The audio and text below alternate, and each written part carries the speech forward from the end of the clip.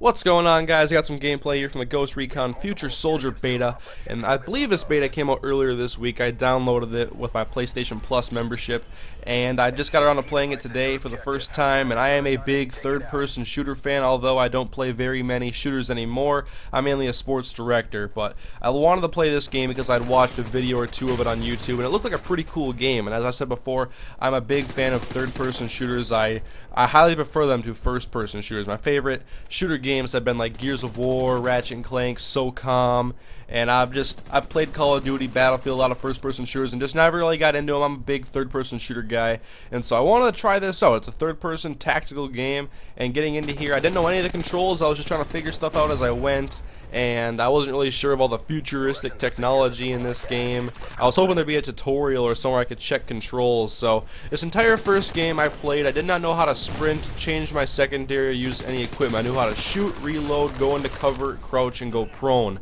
That's about it. But we're playing Conflict, and I'm not exactly sure what the point of this game mode is. But I just got into here. I believe it was the only mode I could actually play.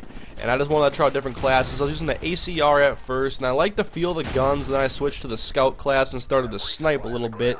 And everything felt pretty smooth and pretty easy just to jump into and get used to. The controls, I was kind of wondering at first how it would be my first time through because I wasn't sure how to use equipment and I didn't have anybody to talk to.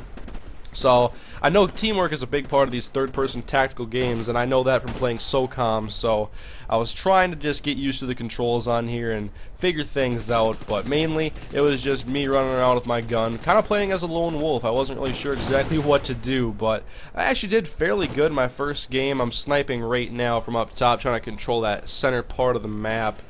And this game also has a very good cover system. I like it a lot. When you go into cover, I didn't realize that at first. I kind of figured it out in my second game. But when you go into cover, you can see a blue circle, and that shows you where you can advance in cover and sprint to quickly, and it helps for setting up uh, the certain path you want to take if you want to go and try to flank an enemy because otherwise I was like how do you figure out where exactly you go into cover because I didn't notice the blue circle at first but after figuring it out I really like this cover system and it probably would have helped me a lot if I could have figured out how to sprint. I'm running around right now just crouch, moving really slowly. I see everybody else moving pretty quickly, and I envied them at the time because I wanted to move faster. But I was getting a decent amount of kills, and here I can just go in here and their guy is sniping.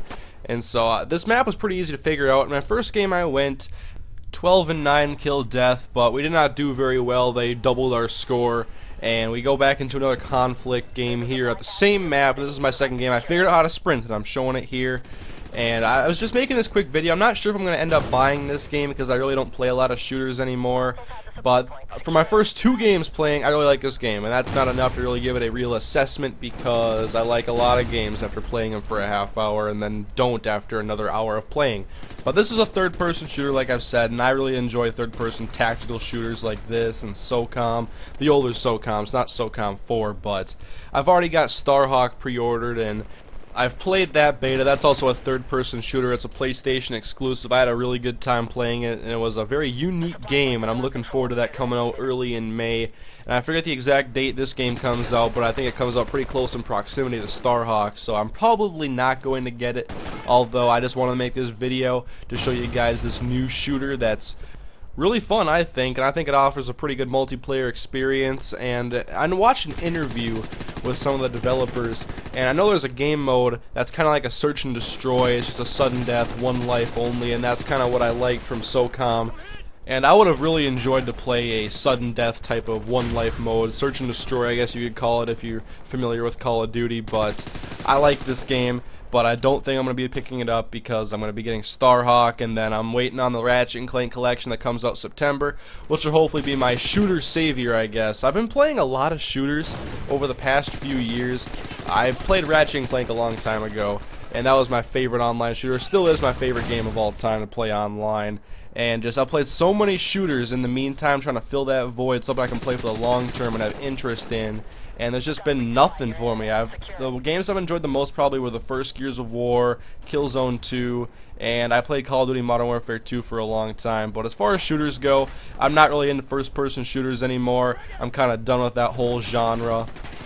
But this game right here, Ghost Recon Future Soldier, I really wasn't looking into it, and I just watched a video, and it actually looks pretty interesting. So if you're a third person shooter fan, I would recommend trying out this beta if you have the chance and possibly picking it up because it offers a very good change of pace from what we're accustomed to with the shooter market nowadays. Usually first person shooters that are pretty much the same as everything else.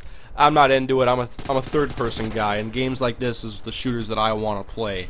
I will possibly bring some more gameplay from the beta. I definitely want to hop into it some more now that I know some of the controls and possibly try to learn the actual objective in this game mode. There's still a lot of things for me to learn, and I one of the things that's actually really cool about this game is the gunsmith. The gun customization in this game is probably the best I've seen in any game. It is so in-depth and detailed. I'm not quite sure if you can go into the gunsmith in the beta because I just hopped in here to play a couple of games, but I'll try to figure some more stuff out and get some more gameplay if you guys want to see some more. I'm not sure how long this beta lasts, but I'll try to get into there very soon and play some more, but I had a lot of fun playing these first couple of games. You could have seen that last section there. I sped it up. I was doing some sort of interaction, so I must have been playing the objective. But I go 20 and 14 in this game, lead my team in experience points. But let me know what you guys think of this video, and I'll see you guys next time.